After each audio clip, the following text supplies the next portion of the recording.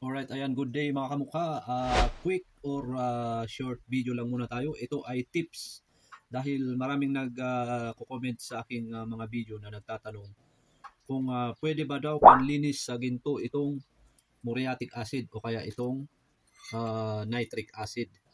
Okay, so maraming nagtatanong about sa panlinis. Okay, pero ito yung lagi niyong tatandaan wag na wag po ninyong pagsasamahin itong dalawang chemical na to, itong ah, nitric acid at saka itong muriatic acid. Wag na wag niyo pong pagsasamahin yan pagka maglilinis kayo ng yung, yung ginto, yung mga gintong alahas. Bakit kamo? Aba, eh, malalaman mo yan dahil ito yung ating content for today. At ah, may hinanda ako dito. Ayan, na, nawawala ako ah.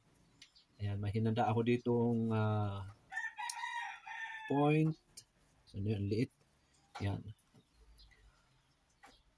0.1 milligrams yan mga kamukha. Yan yung ating gagawing eksperimento ngayong vlog for today. Dahil hindi ko ma-afford na mag-vlog ng malaking gintol dito sa experiment.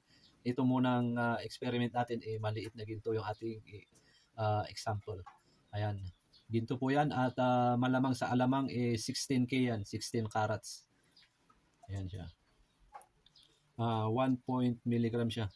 So, ilalagay natin dito. Mm. Tapos, ang gagawin natin ay pagsamahin natin itong uh, hydrochloric acid o yung tinatawag na muriatic acid. Ayan. Hydrochloric acid at uh, muriatic acid ay iisa lang yan. At itong uh, nitric acid. Ayan, wala na naman akong gloves. Uh, pasensya na at baka may magsasabi na naman dyan, mag-gloves ka. Ayan, wala tayong gloves na nasira yung gloves natin ginagamit. Okay, ang unahin natin ay itong muriatic acid. Lagyan natin dyan.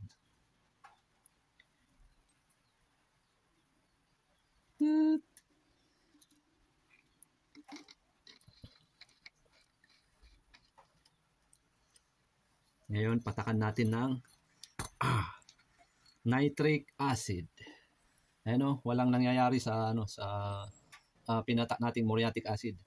Pero pagpatak natin dito sa ito konti lang yung ilalagay natin kasi ang ratio nito is uh, 80% to 20%, ganyan. Ganyan lang siya. Konti lang yung ilagay nating uh, nitric acid.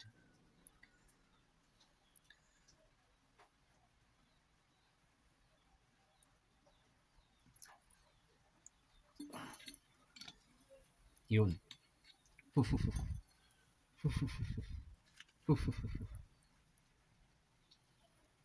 Yun siya, natutunaw na siya mga kamukha. Ayan.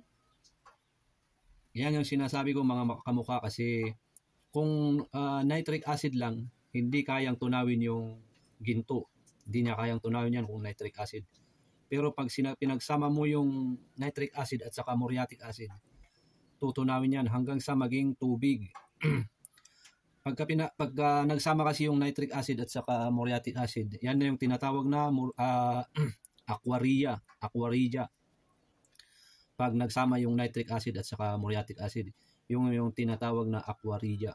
So, yan yan siya, kakainin niya yan, kakainin niya hanggang sa maging uh, dilaw yung ating tubig. Ngayon, pagka gusto mong i-recover naman ito, para makuha mo ulit yung uh, ginto niya, gagamitan mo na naman ng uh, SMB, yung tinatawag na sodium metabisulfite. Ayan. Yan lang siya. Medyo matagal siya kasi uh, pagka nagka ganito ka kasi mag-aquaria ka, mas maganda isalang mo sa apoy para mas mabilis. Pero pagka hindi mo to sinalang sa apoy, matagal siya. Ayan o. Oh. Yan, unti-unting naging kulay nagiging kulay dilaw yung ating ating uh, tubig. Ayan siya. Ayan, so yan yung dapat yung malaman about sa paggamit sa mga mga nitric acid at saka muriatic acid. Uh, number one na isipin nyo yung uh, wag nyong pagsamahin pagka nag, uh, gusto nyong maglinis ng alahas nyo kasi pag uh, pinagsama nyo to at uh, naglinis kayo, sigurado mawawala yung ginto ng alahas nyo lalo pa pag uh, gold plated yung alahas nyo. Yan siya. Ang kumukulo. Pero pagka sinalang natin to sa apoy, mas mabilis siyang kumulo. Yan.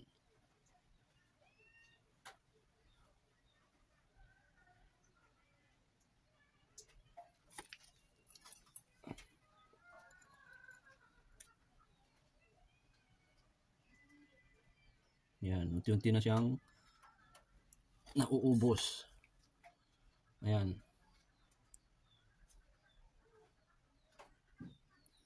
So, yun lang. Ah, yun lang yung video natin for today kasi may mga nagko-comment about sa muriatic acid at saka ah, nitric acid. Ah, yun lang yung payo ko, o tips ko. Sa mga nagtatanong about sa paggamit ng Aquarija. Ah, wala po kayong mabibili na Aquarija, Aquarija talaga.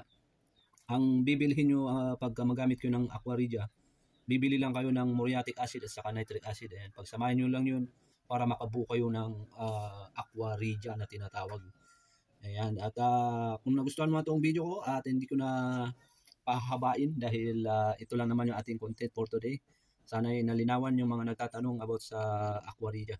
Ayan. At ah, ah, dito ko natatapos yung video ko. Maraming salamat sa mga nanood dyan. At kung nagustuhan mo itong video ko, baka naman pwedeng pa-like, pa-subscribe at ah, pa-like and share na rin. At siyempre, ah, para lalo kang updated sa mga video na aking ina-upload, i-click mo lang yung notification bell icon dyan. Maraming salamat at ah, kita-kits sa ating susunod na video. Peace out.